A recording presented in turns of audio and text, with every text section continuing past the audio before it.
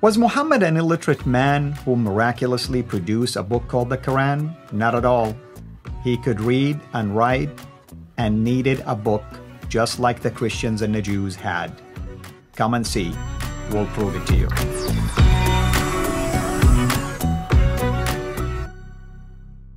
Today we're going to talk about this million dollar question Was Muhammad really illiterate?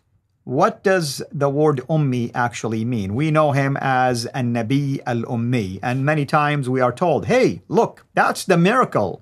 The fact that this guy who did not know how to read or write, look at how beautiful of a revelation called the Quran he brought. How did he know how to articulate things like this to us, and so on and so forth? As if, as if unlearned people cannot somehow do poems and say things or even know how to be creative and innovative. But all that aside, let's answer that question basically. Was Muhammad illiterate?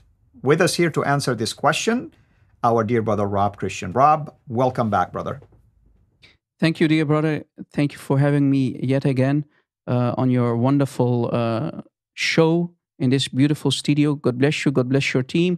God bless the audience who are watching uh, this video or going to watch this video. This topic is really important because Muslims claimed that Muhammad was an ummi, an illiterate, and they gave him this uh, this this nickname or this uh, attribute uh, because they want to give him a miracle. I mean, Muslims say, you know, Muhammad was an ummi, he was an illiterate. And this is one of the miracles of Islam that Allah gave an illiterate and he made uh, this uh, religion of Islam uh, spread worldwide by giving an illiterate this big, huge task to spread this final religion. They call Islam the final religion to complete all the religions and to to to uh, correct all the religions before it, basically Judaism or, or, or Christianity, the main uh, uh, um, religions before Islam. So here, uh, Muhammad is called an illiterate, and Muslims brag about it. Our Ummi prophet mm-hmm. is one, the one, the final prophet, the seal of all the prophets. So let's see if Muhammad was truly an illiterate and what is actually the meaning behind the word? Because the word ummi in arabic can have many meanings dear brother. You are an arabic speaker and we know that it can have multiple meanings. So let's see which true meaning is the meaning behind the word and uh, uh, ummi or ummi right? Ummiya. So let's see. So if we see what the meaning is. Brother, you are an Arabic speaker. You know what the meaning of ummi is. But here are two meanings for the word ummi. Ummi can have two meanings. One of them is actually, yes, illiterate. And the other meaning can also be someone without a book of God, basically a someone who is spiritually dead. He did not receive any uh, revelation in a let's say in a book form or uh, in a form of a, a, divine revelation from God. So and actually that's the correct meaning for the ummi in this case for Muhammad because Muhammad is an Arab and the Arabs did not get any divine revelation yet. They did not get any prophet unlike the Jews and the Christians, right? The, the Jews and the Christians they had many prophets to come with a divine revelation through the Holy Spirit, right? From the Holy Spirit to guide those people who are maybe lost. But in Islam, Muhammad was basically the first prophet. And did he actually, could he actually write and read? Or was he simply a lost soul who got supposedly divine revelation from Allah through Jibreel with the Quran? Right? So let's see, brother. What do you want to add on top of this? No, I mean it's it's absolutely uh, important for people to know that the word ummi in and of itself does not necessarily mean an illiterate person. I mean we have to be aware of that fact. In fact, there is a lot of writings out there and research to indicate that uh, the meaning behind why Muhammad was called a Nabi al Ummi, not necessarily that he was an illiterate person, he just basically came to people without a book, technically speaking. Exactly, basically a Gentile, right? Correct. Exactly. Exactly. Al Umam. That's where we get the word Al Umam from. Exactly. Here, here's an example, a crystal clear example from Sahih al Bukhari, hadith number 2125. Sahih al Bukhari, hadith number 2125. O Prophet, meaning Muhammad, we, Allah speaking basically, we have sent you as a witness and a giver of glad tidings and a warner and a guardian of the illiterates. Of the illiterates. And as you see, uh, the word is ummiyin, plural of ummi, the plural form of ummi, ummiyin, right? So Right. as you see, the Arabs used to be called ummiyin. What do you want to add, brother? No, I mean, uh, it makes sense. It makes sense. The fact that the Arab recognized right away that you have Jews who have a book, you have Christians who have a book, and most likely they were looking at the Arab Jews and the Arab Christians and saying, wait a minute, you know, we don't have a book. So they discovered so quickly that they basically are not part of that group and most likely most likely the jews gave him the indication that's because you're gentiles technically speaking that's why you are outside of our uh, basically uh, community or outside of our religious community if you wish and you guys don't have what we have Exactly. And it's really important that the people are understanding that it becomes clear what I'm trying to explain here and what our brother is explaining here. You need to understand that the Jews and the Christians were called people of the book. Why? Because uh, the Christians received the gospel and the Jews, they received the Torah, for example, and the Zabur, the, they call it the Psalms, right? So Muslims who were a bunch of pagans before that in the time of Jahiliyyah, the pre-Islamic era, the Arabs were illiterates not because they could not write and read. There were many Arabs who could write and read. Uh, for example, they loved to write poetry, listen to poetry. So they were not actually literally illiterates. They were called ummiyin because they did not have a book. They did not know about God. They were a bunch of pagans. The family of Muhammad were a bunch of pagans. The Quraysh of Mecca were pagans, hence why they were called Ummiyin or Ummiyun, and the singular form Ummi, Muhammad being an Ummi, not because he could not write and read, he was called an Ummi because he did not receive a book from God yet, like the Jews and the Christians, the people of the book. Now, do you That's right. understand why the Muslims are not the people of the book, brother?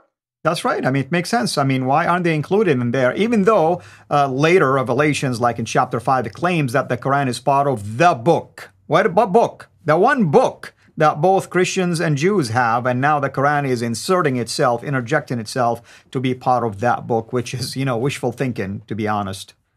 Exactly.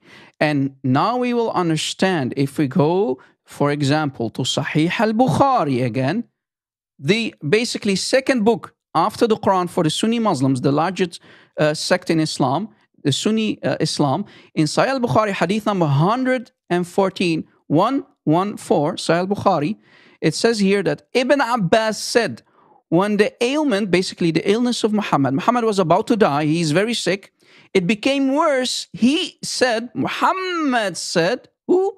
Muhammad said, the Rasulullah, the Prophet of God, uh, in this case Allah, bring for me, Muhammad said, writing paper to write something down, and I, who Muhammad, will write for you a statement after which you will not go astray.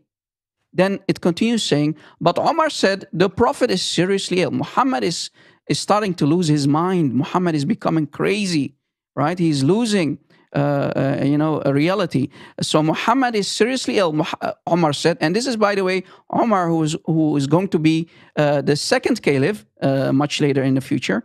And we have got Allah's book with us, and that's sufficient for us. So here, Omar, Omar, you know, stop this. He said, no, no, don't give him any uh, pen or paper to write things down because we already have the Quran and the Quran is already completed. We don't need any more message or, uh, you know, uh, anything, any statement from Muhammad. Muhammad is seriously losing everything. Muhammad is uh, starting to become crazy. He does not know what he's talking about. So here we have two damaging uh, things, brother, that I want to share with everybody. Muhammad, as you see, could write and read. He was certainly not an ummi in uh, uh, meaning that he was actually illiterate. No, no. Muhammad could read and write. And on top of that, the Prophet of Islam, the final prophet, the perfect example, according to Omar, is seriously mentally Yes. having problems. This is damaging. Absolutely. As you see, brother. Yeah.